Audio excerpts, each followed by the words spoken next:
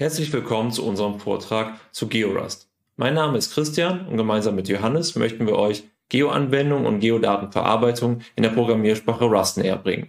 Und hierfür möchten wir euch einen Einstieg in die GeoRust-Community bieten. Dieser Vortrag basiert zum Teil auf dem letztjährigen Phosphor-G-Vortrag von Pirmin und wir danken ihm recht herzlich, dass er uns seine Infos und seine Folien bereitgestellt hat.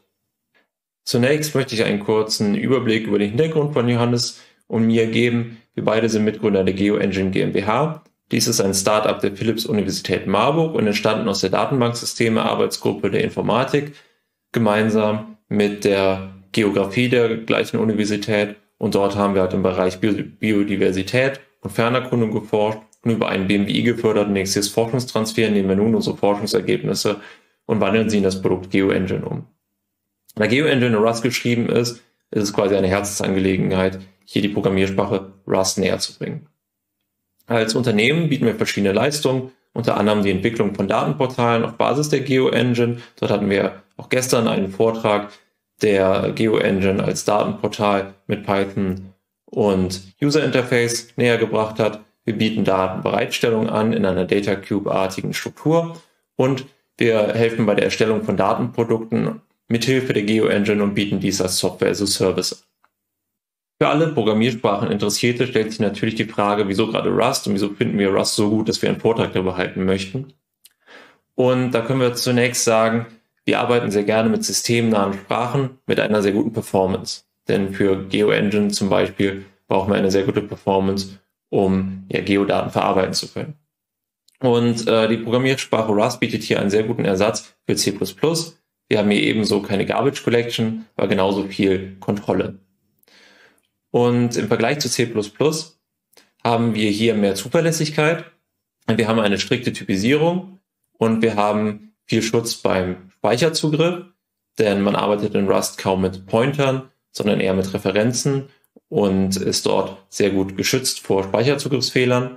Man hat mehr Thread Safety, weil Rust es einem verhindert, Operationen, die vielleicht nicht multithreading fähig sind, auszuführen und kann sich dort mehr auf die Sprache verlassen und die Sprachfeatures. Hinsichtlich Produktivität kann man sagen, wir können sehr gut und sehr schnell mit Rust arbeiten, denn es gibt ein sehr gutes modernes Ökosystem. Der Compiler ist im Vergleich zu allem, was man bisher so kennt, sehr, sehr hilfreich. Und es gibt ein sehr modernes Tooling und eine Paketverwaltung, die einem stark weiterhilft. Zudem gibt es viel Dokumentation und Lernmaterial. Die ganze Programmiersprache wird von der Rust Foundation entwickelt und diese hat halt sehr viele große Unternehmen, die dahinter stehen, wie AWS, Meta, Google, Huawei, Microsoft und Mozilla, die das ganze Projekt vor der Gründung der Rust Foundation quasi bis 2021 angeführt haben. Nun möchten wir eine kurze, wirklich sehr kurze Einführung in die Programmiersprache Rust geben, um diejenigen, die interessiert sind, vielleicht anzulocken, ja, sich mehr einzulesen und ähm, weitere Ressourcen ranzuziehen. Also es gibt hier auf der linken Seite wie immer das Hello World Beispiel, in dem man eine Funktion hat, die heißt Main, die wird halt ausgeführt, wenn man ein Rust-Programm ausführt. Und da drin sieht man Printline und da sieht man schon, Main ist eine Funktion, Printline hat ein Ausrufezeichen, das ist ein Makro und es gibt also ja Funktionen wie in den meisten Programmiersprachen Makros, die im Vergleich zu C++ ähnlich sind wie die Dinge, die man mit Templates erreichen kann und äh, sind halt sehr mächtige Sprachfeatures, die direkt in so ja kleinen Snippets zu sehen sind. In Schleifen sieht man hier erst eine Variable, die, wir definieren. Dort sieht man, dass wir gesagt haben mut für mutable, denn im Vergleich zu den meisten anderen Sprachen ist per Default in Rust so, dass Variablen nicht veränderbar sind. Das ist viel einfacher, denn ähm, so kann man das halt explizit deklarieren und der Default ja, ist der konstante Fall. Jetzt sieht man hier äh, eine moderne For-Each-Syntax, jetzt zum Beispiel bei Schleifen. Es gibt natürlich auch Whiles und Loops ohne äh, quasi Condition. Und auf der rechten Seite sehen wir Structs, die sind ähnlich wie in C und C++. Wir haben hier keine Klassen, weil wir keine klassische Objektorientierung haben, sondern, wie man unten sieht, Implementierungsblöcke für Structs, in denen man Funktionen definieren kann. Und ähm, im Vergleich zu der Objektorientierung arbeitet man hier mit Trades, wo man dann wieder für bestimmte Eigenschaften, die man definiert, weitere Implementierungsblöcke für so Structs definieren kann. Was in Rust beispielsweise hervorsticht, sind sehr mächtige Enums. Enums kennt man vielleicht aus anderen Sprachen, aber in Rust können diese auch ja, Werte, quasi eine Payload beinhalten, sind nicht einfache Zahlen. Mit Batchblöcken kann man dann auf diese einzelnen Varianten zugreifen. Im Sinne von RGB kann man zum Beispiel auf die einzelnen äh, Farbwerte, die als äh, 8 Byte unsigned Integer gespeichert sind, einzeln zugreifen und hier etwas sehr viel mächtigeres erreichen mit diesen Matchblöcken als zum Beispiel einfache Switch-Statements aus JavaScript, C++, Java oder ähnlichem. Und es gibt halt so viel mehr wie Trades, die ich vorhin schon erwähnt habe, die Standard Library, die sehr viele Algorithmen und Datenstrukturen bereitstellt, Features zu Threading, asynchrone Verarbeitung und streambasiertes Prozessierung, dann äh, ein Error Handling, was auch anders und besser ist als in anderen Sprachen, C-Bindings, die es sehr einfach machen, bestehende Libraries einzubinden und Makros, die es ja wie bei C++ Templates sehr viel quasi Magie erlauben, um ähm, Code zu vereinfachen und zu strukturieren. Dann gibt es den Manager Cargo, der ist quasi so das zentrale System, wenn man in Rust arbeitet, ja, mit Code. Ähm, Bibliotheken werden in Rust in Crates unterteilt und auf crates.io findet man quasi alle ja, Building Blocks sozusagen, um seine Anwendung zusammenzubauen, alle Dependencies. Dann hat man mit Cargo auch eine Paketverwaltung direkt mit dabei, die ist so ungefähr wie NPM, relativ einfach und wie CMake, man kann relativ viel damit machen, quasi so wie eine Kombination aus beiden, aber in sehr gut.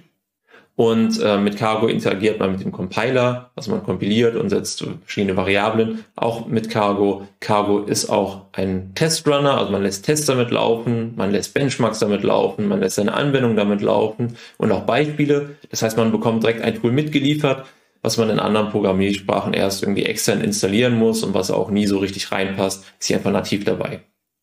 Dann gibt es halt Lernressourcen, wenn man jetzt denkt, ja, Rust hört sich interessant an, wo kann ich mich denn da einlesen? Auf rustlang.org slash learn findet man jede Menge äh, Ressourcen, zum Beispiel Rust by Example, wenn man gerne mit Beispielen lernt, oder ein Rustlings-Kurs, wenn man interaktiv Stück für Stück sich der Programmiersprache nähern möchte. Und jetzt möchten wir auch schon zu GeoRust kommen und ganz im Kompakt, was ist GeoRust? Ja, das ist eine Sammlung von Geospatial Tools und von Bibliotheken, die in Rust geschrieben sind. Und GeoRust ist im Prinzip erstmal ein loser Zusammenschluss von GeoRust-Entwicklerinnen und Entwicklern, ungefähr 30 im Kern, aber auch viel mehr quasi drumherum. Und das Ziel ist der Aufbau eines umfangreichen Ökosystems mit vielen Tools in Rust und für Rust. Und wir können hier natürlich nur eine ganz kleine Auswahl vorstellen, aber viel mehr Ressourcen findet man ja auf der rechten Seite unter georust.org. Dort findet man zum Beispiel Zugang zu GitHub Repositories dann die von Pirman geführte Liste Awesome Jurors, wo man viele ja, Beispielanwendungen und viele Bibliotheken findet. Und auch den Discord-Kanal, in dem man einfach reinkommen kann und sich mit anderen GeoRust-Entwicklern und Interessierten unterhalten kann. Jetzt übergebe ich auch schon an Johannes, der eine Übersicht über verschiedene Kategorien und dort Beispielanwendungen oder Beispiel-Libraries vorstellt. Ja, danke Christian und hallo auch von mir. Ähm, ich stelle jetzt ein paar Geocrates vor und das erste Crate ist auch direkt das Geocrate. Ähm, Im Geocrate gibt es verschiedene Objekte für Vektordaten wie Punkte, Linien, Polygone und eben auch Multipunkte, Multilinien und Multipolygone. Ähm, es gibt verschiedene Algorithmen, die man anwenden kann, um diese Vektordaten ja, zu verarbeiten. Es ist zum Beispiel das DE9M Intersection Modell implementiert worden. Damit kann man dann bestimmen, ob Linien und Punkte Polygone sich schneiden, intersekten oder überlappen. Und es gibt auch verschiedene andere Algorithmen, wie zum Beispiel die Fläche eines Objekts zu bestimmen, äh, die Hülle eines Polygons zu bestimmen oder auch den Abstand zwischen verschiedenen ähm, ja, Features zu bestimmen. Und das GeoCrate ist eins der Hauptcrates äh, für Geodaten in Rust. Ähm, es integriert sich sehr gut auch mit anderen Crates wie dem Proj Crate wo eben dann äh, Koordinaten umprojiziert werden können. Und es gibt jetzt auch relativ neu in dem GeoCrate selber ähm, die Möglichkeit, direkt um, umzuprojizieren. Und man kann zum Beispiel auch serialisieren, zum Beispiel mit GeoJSON, aber auch mit anderen Crates, um die Daten zu laden und abspeichern zu können. Man findet das ähm, Crate entweder auf crates.io oder auch auf GitHub, wo man auch gerne mitentwickeln kann. Und äh, die meisten Maintainer sind auch immer in Discord zu finden. Genau, und hier rechts habe ich mal ein Beispiel mitgebracht. Also man sieht eine Rust-Main-Methode. In der ersten Zeile wird quasi eine Linie angelegt, die aus zwei Punkten besteht. Und in der nächsten Zeile wird eine neue Linie angelegt, die auch aus zwei Punkten besteht. Und diese zwei Linien, die sollten sich schneiden. Und äh, das wird dann eben abgefragt in der Variable a intersects b gespeichert. Und das Ganze kann man dann mit dem Printline-Makro auch schön formatiert ausgeben und die Ausgabe sieht man dann auch unter diesem Code-Schnipsel. Ja, das nächste, was immer wichtig ist, wenn man mit Geodaten arbeitet, das kennt wahrscheinlich auch jeder, sind die verschiedenen Formate. Ähm, es gibt in Rust verschiedene Crates, die implementiert sind, zum Beispiel das GeoJSON Crate, das man auch auf crates.io oder ähm, auf GitHub findet. Und damit kann man eben lesen und schreiben ins bekannte GeoJSON-Format. Ähm, und es wird auch direkt das GeoCrate unterstützt, sodass man quasi direkt Geo-Objekte speichern und auch lesen kann. Genau, das nächste sehr interessante Crate ist das Lit GeoBuffer Crate, ähm, das eben ein relativ cloud-optimiertes Speicherformat für Vektordaten ist. Äh, es ist also extra für statische Daten ausgelegt und das speichert die Daten intern auch in einem R-Baum und ermöglicht so dann auch relativ schnell auch gefiltert diese Daten daraus zu lesen. Das findet man auch auf äh, GitHub und äh, wir sind sehr große Fans dieses Crates. Genau, dann gibt es noch das Shapefile Crate und äh, Shapefiles sind ja immer so eine Sache. Das benutzen wir persönlich nur, wenn es sein muss. Ähm, aber es gibt es und es ist auch wichtig, weil viele Daten eben als Shapefile gespeichert sind. Und das findet man auch auf GitHub ähm, und natürlich auch bei crates.io. Genau, jetzt habe ich hier noch ein Beispiel mitgebracht. Ähm, in dem Code-Snippet sieht man wieder eine Rust-Main-Methode und einen String, der eben ein GeoJSON-Feature beschreibt mit einem Namen und einer Geometrie. Und ähm, das Ganze wird dann gepasst in ein Objekt aus, äh, ja, ein GeoJSON-Objekt. Und das Ganze kann man dann eben auch wieder ausgeben. Einer der großen Vorteile von Rust ist, dass man relativ einfach Bindings zu C-Libraries generieren kann. Und gerade im Geo-Bereich gibt es ja viele bekannte Libraries wie GDAL, Proch und auch Geos, die man nach Möglichkeit verwenden möchte. Und es gibt tatsächlich Crates für alle diese Bibliotheken. Und bei GDAL zum Beispiel bin ich auch einer der Maintainer. Ähm, das GDAL Crate erlaubt das Lesen und Schreiben von Vektordaten und Rasterdaten. Es wächst beständig und ähm, kann zum Beispiel auch direkt nach ND-Array lesen was quasi das gleiche ist wie NumPy-Arrays in Python, sodass man Rasterdaten direkt auch als zweidimensionales Raster verwenden kann. Dann gibt es noch das Proj-Crate, wo man eben Koordinatensysteme und Projektionen verwenden kann, was auch relativ gut mit dem GeoCrate integriert ist und eben erlaubt, dass man Koordinatensysteme oder Objekte in verschiedene Koordinatensysteme umtransformieren kann. Genau, und dann gibt es noch das Geos Crate, was eben die Geos Library unterstützt und eben erlaubt, auf Geometrien verschiedene Operationen auszuführen. Das wächst auch beständig, ist auch mit dem GeoCrate integriert und unterstützt zum Beispiel sowas wie Voronoi-Diagramme auf äh, Polygonen. Genau, ich habe jetzt hier auch nochmal ein Beispiel mitgebracht, wo man eben sieht, wie man mit dem GDAL-Crate arbeiten kann. Ähm, erstmal gibt man einen Pfad an, wo eine PNG-Datei, die eben ein Raster ist, liegt. Und dann öffnet man dieses Dataset, was dann eben quasi schon ein GDAL-Dataset wrappt dann kann man für dieses Dataset sich die Beschreibung anzeigen lassen. Man kann sich ein Rasterband aus diesem Dataset lesen ähm, und dann verschiedene Eigenschaften lesen, wie die Beschreibung, den No-Data-Wert und auch was das für ein Typ ist, den man da überhaupt liest, wie groß das Grid ist. Und dann kann man eben auch die Daten lesen und das Ganze kann man dann über äh, Generics auch typisieren. Also man kann sagen, ich möchte Float-Daten lesen oder ich möchte zum Beispiel Integer-Daten lesen. Genau, das Ganze kann man dann auch wieder ausgeben. Neben den Crates haben wir jetzt auch Beispiele für verschiedene Systeme mitgebracht, die in Rust geschrieben sind und mit Geodaten arbeiten oder mit denen man Geodaten verarbeiten kann. Das erste ist AB Street. Und AB Street ist ein ziemlich cooles Programm, das sich auf jeden Fall anzusehen lohnt. Das heißt, es ist ein Projekt zur Planung, Simulation und Kommunikation von Visionen für eine Fußgänger-, Fahrrad- und verkehrsfreundlichere Stadt. Und man sieht rechts schon das animierte Beispielbild, ähm, wo tatsächlich Fahrzeuge und Fahrräder und auch Fußgänger unterwegs sind und das Ganze kann man interaktiv benutzen und zwar auch für sich zu Hause, weil das Ganze auf den OpenStreetMap-Daten aufsetzt und man das quasi einfach überall verwenden kann deswegen. Ja, das System läuft quasi auf Linux, Mac, Windows und auch auf FreeBSD und ähm, also es ist wirklich wert, sich mal anzuschauen. Ja, Christian hat es ja schon erwähnt, die GeoEngine, das System, das wir selber entwickeln, ist auch in Rust geschrieben ähm, und basiert auch zum großen Teil auf den Trades, die ich schon vorgestellt habe. Die GeoEngine ist eben eine Engine zur Verarbeitung von heterogenen Geodaten. Und ähm, wir hatten auch gestern schon einen Vortrag, wo wir das System ausführlich vorgestellt haben. Die Idee ist eben, dass man auf Daten zugreifen kann, ähm, wie in einem dynamischen Data Cube. Das kann man sich so vorstellen. Man hat eben Raster- und Vektordaten im System. Alles ist quasi eine Zeitreihe. Also ich kann sagen, wann ich gerne Daten sehen oder verarbeiten möchte. Und man beschreibt die Verarbeitung über Workflows. Und ein Workflow kann man sich so vorstellen wie einen dynamischen Layer, ähm, der eben on the fly ähm, die Daten für mich berechnet, sodass ich sie eben verwenden oder auch darstellen kann. Das Ganze kann man verwenden via WebUI, Python und auch über OGC APIs und eben in der Cloud oder auch lokal einsetzen. Jetzt habe ich hier rechts nochmal einen Screenshot mitgebracht. Was man hier ganz schön sieht, ist der NDVI für Marburg. Ähm, ich habe den invertiert, sodass man hell die Gebäude und Straßen sehen kann der Stadt Marburg und rundherum die Vegetation ist halt relativ dunkel. Genau, und rechts daneben sieht man noch, wie man die GeoEngine auch in Python verwenden kann. Und äh, wer sich für GeoEngine interessiert, der kann auch gerne auf GitHub vorbeischauen, wo äh, die GeoEngine auch zu finden ist. Ja, das dritte System, was wir mitgebracht haben, heißt T-Rex und ist ein Vektor-Tile-Server, der Daten zum Beispiel mit GDAL oder auch mit PostGIS laden kann und dann für verschiedene Webkarten ähm, Vektorkacheln ausliefern kann. T-Rex ist ein Projekt von Pirmian und ähm, es generiert Tiles eben auch vor und das Ganze macht es parallel und es hat dann eine einfache Einbindung an verschiedene Karten-Libraries wie zum Beispiel Mapbox oder auch OpenLayers.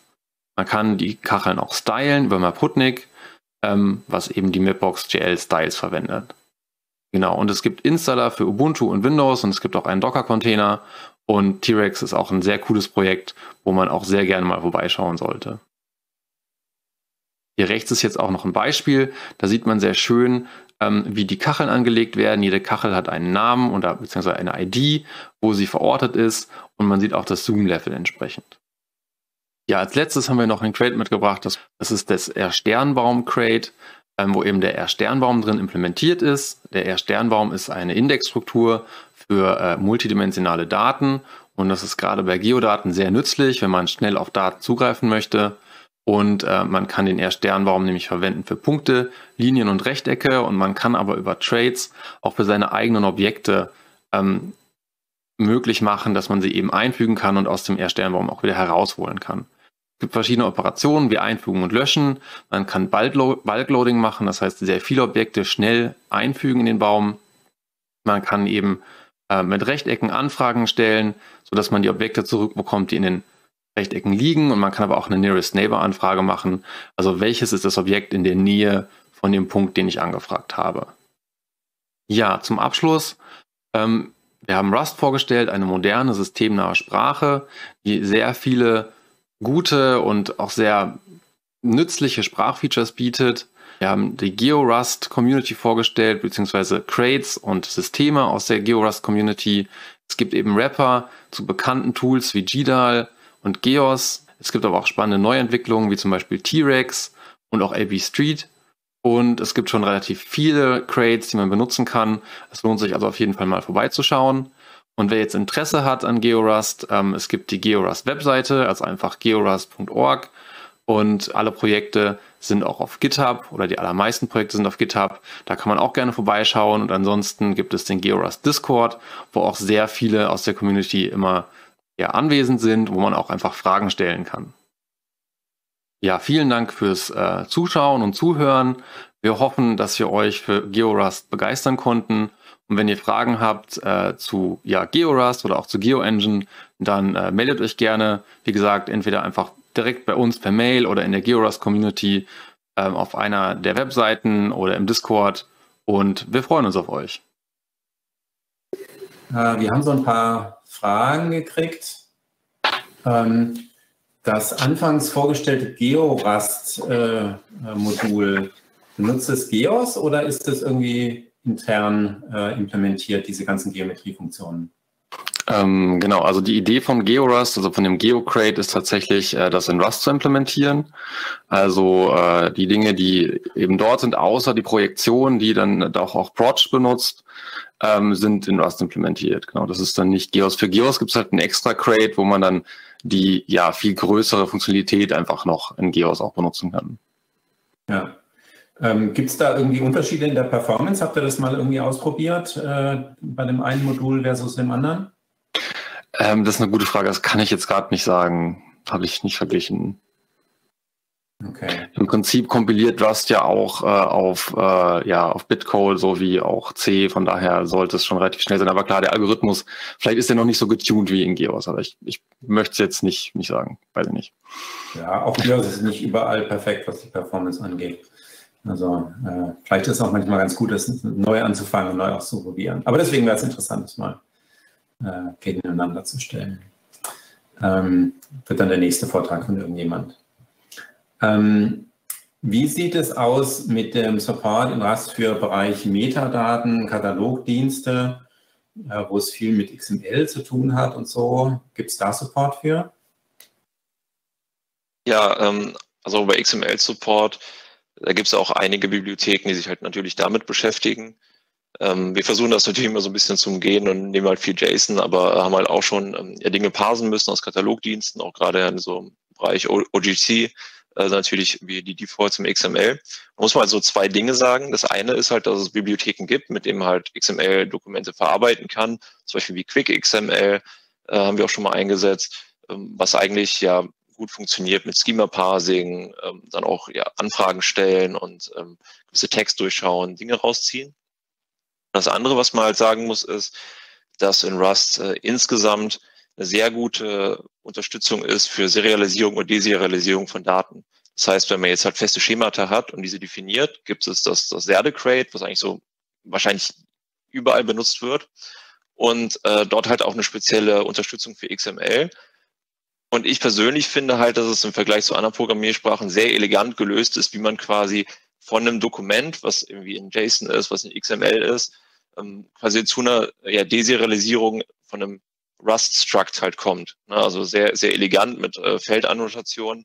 Das sollte man sich auf jeden Fall anschauen, aber es ist auf jeden Fall möglich. Also es gibt genügend Sachen für, für XML zu verarbeiten und auch zu serialisieren, deserialisieren. Okay. Ähm, jetzt habe ich mal noch eine Frage. Und zwar, ihr habt ja im Vortrag äh, gesagt, dass ihr das Flat GeoBuff-Format äh, und das zugehörige Crate äh, ganz besonders mögt. Äh, und da habe ich mal eine ganz nerdige Frage. Beim Flat Geobuf-Format ist es ja möglich, ähm, dass man entweder feste Attributlisten hat und im Header äh, vorgibt, welche Attribute man hat, wie man das aus dem Simple Feature äh, kennt. Oder man kann auch für jedes einzelne Feature festlegen, welche quasi dynamischen Attribute es gibt, welche Tags es gibt, so wie OSM das macht, wo jedes Objekt eigene, ähm, äh, eigene Tags eben haben kann.